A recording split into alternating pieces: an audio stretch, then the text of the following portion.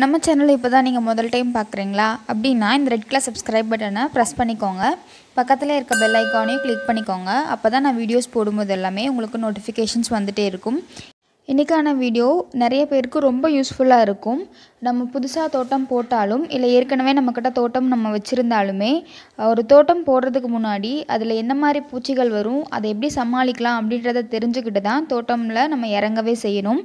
எந்த விதமான செடிகளுக்கு எந்த மாதிரியான பூச்சிகள் வரும் அதை எப்படி கட்டுப்படுத்துறது எப்படி பாதுகாத்துக்கலாம் அப்படின்றத பற்றின ஒரு டீட்டெயில்டான வீடியோ கொடுத்துருக்கேன். ஸ்கிப் பண்ணாமல் பாருங்கள் உங்களுக்கு கண்டிப்பாக அது யூஸ்ஃபுல்லாக இருக்கும். அதில் நம்ம தோட்டத்தில் ரொம்ப காமனாக வர்றது வெள்ளைப்பூச்சி தாக்குதல் தான்.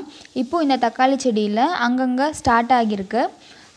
வெள்ளைப்பூச்சி பொதுவாக கத்திரிக்காய் தக்காளி செம்பருத்தி செடியில் ரொம்ப அதிகமாக இருக்கும். செம்பருத்தி மரம் எவ்வளோ பெரிய மரமாக இருந்தாலும் இந்த ஒரு சின்ன பூச்சி மரத்தையே அடித்து காலி பண்ணிடும் இந்த பூச்சி எங்கே இருந்து வரும் எப்படி வரும்னு நமக்கு தெரியாது. ஆனால் ஒரு பூச்சி வந்தால் போதும். நம்ம தோட்டத்தில் இருக்க எல்லா செடிகளுக்குமே சீக்கிரமாக பரவிடும் ரொம்ப முக்கியமாக சொல்லணும்னா தக்காளி கத்திரிக்காய் அந்த இலைகளை பால் பண்ணுறது மட்டும் இல்லாமல் நம்மளோட காய் பிடிக்கிறதே வந்து அப்படியே ஃபுல்லாக நம்மளோட ஈல்டை வந்து காலி பண்ணிடும் ஸோ இது வந்து நம்ம வரும்போதே செக் பண்ணிகிட்டே இருக்கணும். இந்த இதோட சொல்யூஷன் கூட இந்த பூச்சி மாதிரி ரொம்ப சின்னது தான் இந்த பிரச்சனை ஆரம்பிக்கிற ஸ்டேஜ்லேயே நம்ம பார்த்துட்டோம் அப்படின்னா நம்ம செடிகளை கண்டிப்பாக காப்பாற்றிடலாம் இந்த பூச்சிகளை நம்ம கைகளாலவே எடுத்துடலாம் அப்படி இல்லைன்னா ஒரு டூத் ப்ரஷ்ஷோ இல்லை சின்ன குச்சி வச்சு நீங்கள் தள்ளி விட்டிங்கனாலே அந்த செடியோட அந்த பூச்சி வந்து கீழே விழுந்துடும் அதுக்கப்புறம் லைட்டாக நம்ம தண்ணி மட்டும் ஸ்ப்ரே பண்ணிட்டாலே போதும். அடுத்த பெரிய பிரச்சனை அப்படின்னா இலைப்பின் தொந்தரவு தான் இது வந்துட்டு கத்திரிக்காய் வெண்டைக்காய் செடிகளை மட்டும்தான் அதிகமாக தாக்கும். ஒரு சில டைமில் நம்மளோட வெள்ளரி அந்த மாதிரி கொடி காய்கறிகளுக்கு கூட வந்து பாதிப்பு இருக்கும்.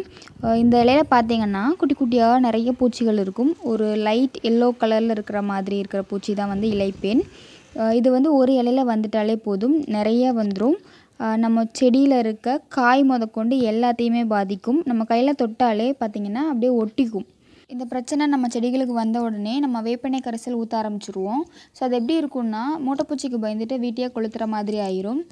கடைசியில் என்ன ஆகும்னா ஒன்றுமே மிஞ்சாது. நம்ம செடிகள் வேஸ்ட்டாக தான் போகும். காஞ்சு போயிடும் இந்த வெயிலுக்கு வேப்பெண்ணெய் ஊற்றினா இதுக்காக ரொம்ப சிம்பிளாக நம்ம என்ன பண்ணலாம் அப்படின்னா ஒரு கப்பில் நம்ம தண்ணி சாதாரண தண்ணி எடுத்து அந்த காய் எந்த இடத்துல அந்த பூச்சி இருக்கோ நம்ம எப்பவும் போல் நல்லா வாஷ் பண்ணி விட்டாலே அந்த பூச்சி செத்து போயிடும் இதுக்காக வேப்பெண்ணெய் மட்டும் நம்ம ஊற்றிடவே கூடாது முக்கியமாக இந்த வெயில் காலத்தில். ஸோ அடுத்து மூணாவது பிரச்சனை அப்படின்னு பார்த்தீங்கன்னா லீஃப் மைனர் ப்ராப்ளம் வந்து கொடி வகை காய்கறிகளுக்கு ரொம்ப அதிகமாக இருக்கும். லீஃப் மைனர் அப்படின்னா பெருசாக ஒன்றும் கிடையாது. இந்த இலைகளில் இருக்க இந்த ஒயிட் கலரில் டிசைன்ஸ் மாதிரி இருக்கிறது தான் லீஃப் மைனர் இதுக்கான முக்கிய காரணம் வந்து இங்கே இருக்க இந்த சின்ன பூச்சி தான். நம்ம இலைகளில் ஃபுல்லாக இருக்கிற பச்சைகள்லாம் எடுத்துட்டு இந்த மாதிரி ஒயிட் கலரில் டிசைன்ஸ் பண்ணி வச்சிரும். இதை நம்ம ஃபஸ்ட்டே பார்க்கல அப்படின்னா நம்ம செடிகள் ஃபுல்லாமே பரவி செடியே ஒன்றுமே இல்லாமல் பண்ணிடும் இதுக்கு என்ன பண்ணலாம் அப்படின்னா நம்ம பார்க்கும்போது இந்த மாதிரி ஒயிட் கலரில் வந்த இலைகளை கட் பண்ணி எடுத்துட்டு நம்ம செடிகளுக்கு சா சாம்பல் எடுத்து செடிகள் அப்படியே இலைகள் மேலே நம்ம தூவி விடலாம். அதுக்கப்புறமா கொஞ்சமாக தண்ணி கூட கலந்து வேரில் கூட ஊற்றி விட்டால் போதும். இந்த ப்ராப்ளம் வந்து நம்ம கண்ட்ரோல் பண்ணிடலாம் ஸோ அடுத்த பிரச்சனை அப்படின்னு பார்த்தீங்கன்னா இது ஒரு பீர்க்கன் கொடி. கீழே வந்துட்டு லீஃப் மைனர் ப்ராப்ளம் இருக்குது அப்படியே மேலே இருக்கிற இலைகள்லாம் பார்த்தீங்க அப்படின்னா இலைகள் நார்மலாகவே இருக்குது சென்டரில் ஒரு ஏரியாவில் மட்டும் இந்த மாதிரி ஒரு ஒயிட் கலரில் கொஞ்சம் கலர் போன மாதிரி இருக்குது மற்ற ச சுற்றி இருக்க இலைகளில் வந்து பீர்க்கன் கொடி எப்படி இருக்கும்னா நம்ம தொட்டோம்னா நம்ம கையில் ஒட்டும் நல்லா திக்காக இருக்கும். ஆனால் இந்த ஒயிட் கலர் இருக்கிற ஏரியாவில் மட்டும் எந்த ஒரு இதுவுமே கிடையாது. கையில் ஒட்ட கிடையாது. ஆனால் அந்த இடத்துல மட்டும் ரொம்ப சாஃப்டாக இருக்குது ஸோ அதை அப்படியே நம்ம திருப்பி பார்த்தோம் அப்படின்னா குட்டி குட்டியாக சிவப்பு கலரில் சிலந்திக்கல் அதிகம் இருக்கும். அது மட்டும் இல்லாமல் இந்த கொடியில் வந்து சிலந்தி கூடு கூட நம்ம பார்க்க முடியும். நான் காலையில் தான் ஒன்று உடச்சி விட்டேன்.